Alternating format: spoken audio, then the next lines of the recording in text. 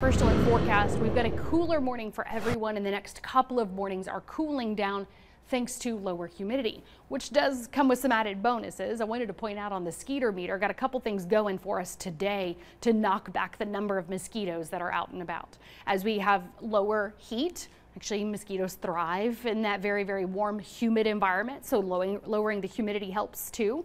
But also moving the air, even if you sit by a fan outside on the still days, no, we have more winds today, and that helps to kind of keep those mosquitoes at bay. So at least it's more moderate the next couple of days while we have the cooler, drier air in place, and then the added bonus of those winds today. It also helps you if you want to sit in the shade and enjoy that breeze, because in the full sun, which we have plenty of today, that can make it feel hotter, of course, as always.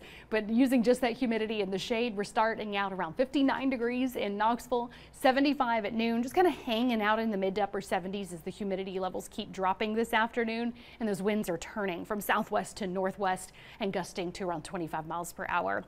So notice more of a breeze midday, afternoon, and evening, and then back to mid 70s this evening. So in that first alert forecast where you live, if you're kind of just wondering, okay, how hot is it? Of course, again, in the shade, it helps, but you're still closer to 80 Athens with 78 Loudon and Madisonville, 77 in Knoxville and Oak Ridge. First alert forecast to where you live 73 Crossville to Oneida, 74 in Wartburg to 75 La Follette. I think you'll be around 73 this afternoon in Harlan and Barbourville to 76 in Rutledge and 77 Pigeon Forge. Newport, your high today around 75. So definitely just below average for everyone. We'll keep it nice and calm through tomorrow morning with some stray fog. We could see just a stray shower as we go through the evening today. And Nose kind of scooting right by southeastern Kentucky. That's mainly because there's a little more movement up into Kentucky. So everything's staying peaceful.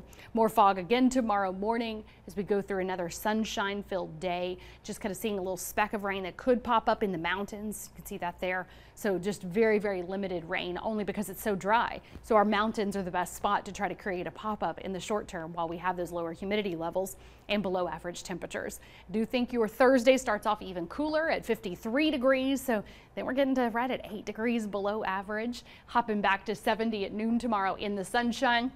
High hanging out in those mid 70s throughout your afternoon, below average temperatures across the board the next couple of days. Well, in the week still clear, but I wanted to zoom out to show you what's going on in the region because storms brewing in Texas and the Midwest will start to at least creep into West Tennessee by Saturday. That kind of pushes out more of a thin sheet of clouds here at home and is gradually increasing the humidity during the day on Saturday. So that climbs in the afternoon with just, it looks like a stray shower trying to reach the plateau Saturday afternoon into the Overnight to early Sunday morning, a few more showers and storms start to press in, so it's a little more scattered on our higher elevations Sunday afternoon and evening. We're starting to kind of pulse up a few storms, getting back into that humidity going into early next week. So the quiet weather pattern is something we can enjoy in the short term on that first alert eight day planner. Humidity coming back into play helps to cue up those storms.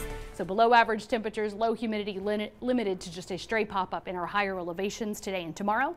Going into your weekend, heat starts climbing Saturday then humidity in the afternoon as well, and that's where those rain chances return. So not a washout right now. We're really watching for scattered downpours and storms to pulse up at times looking ahead to next week.